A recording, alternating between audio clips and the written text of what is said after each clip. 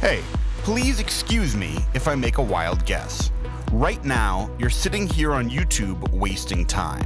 Meanwhile, you're wasting a lot of money without knowing it. Here's some background. So I was checking my online statements recently and I was noticing, wait, what is that? Yeah, that. They charge you every month in your account for something called insurance which I never used. I mean, sure, I had bills to pay, uh, but they were all for stuff that I used, like my house, or my phone, or my internet. But this insurance thing, I didn't actually use it. So why did I pay for it? And after I did some research, I realized that what was happening was that all this insurance money was going to rich guys who were spending it on their fancy homes, fancy boats, and other rich guy stuff that they used to show off to their friends. So I got pissed, and I made this website called buzzquote.me. Now, first of all, I need to tell you that you can get a buzz quote yourself to save a pile of money by going right now to buzzquote.me. Here's some more detail. This is what happened when I put BuzzQuote on YouTube. I got millions of views. I got tens of thousands of comments. People were interested. People made fun of my lisp. But the story that I told just made sense. It's reasonable, and it's the story I'm going to tell you right now. But first, you need to know that one, getting a buzz quote is free.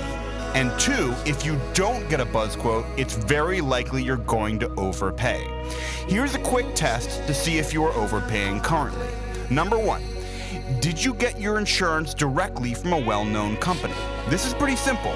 If you call one company, they're going to give you whatever rate they want to. No competition, pretty obvious. Number two, has it been six months or more since your last auto insurance quote?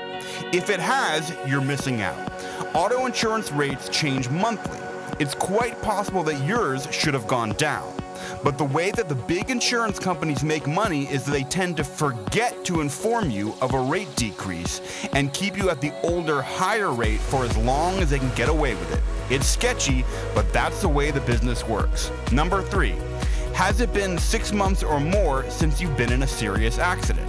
If it has, you should be rewarded with a lower premium. It's that simple.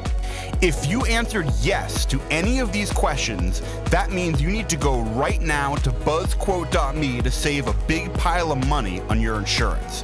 And one more thing. Have you seen any ads recently for insurance companies on TV?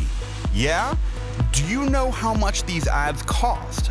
About $5.9 billion per year. Do you know how much money that is? Now, guess who is paying for all that advertising? you are. That money is paid for out of everyone's auto insurance premiums. These companies are not stupid, but they think that you are. They think they can get away with spending billions on advertising and jacking up premiums to pay for it.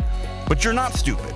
That's why you're going to go right now to buzzquote.me to save money and show the big insurance companies where they can shove it.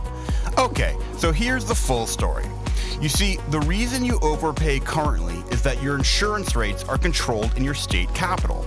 You're required by law to carry insurance, but your state only allows a few well-connected big insurance companies to give you quotes. Every year, lobbyists for these big insurance companies put on lots of expensive parties, and every year the same big insurance companies write big checks to your state politicians. With this money, your politicians put ads on TV so they get reelected. And in return, the politicians allow the insurance companies to raise their rates every year. The politicians stay in office, the insurance companies stay rich, and you keep overpaying. So, here's your solution buzzquote.me. With buzzquote.me, you break the cycle. You submit your info directly to any company that comes to the table, and all at once, the insurance carriers have to compete for your business. Here's some more detail.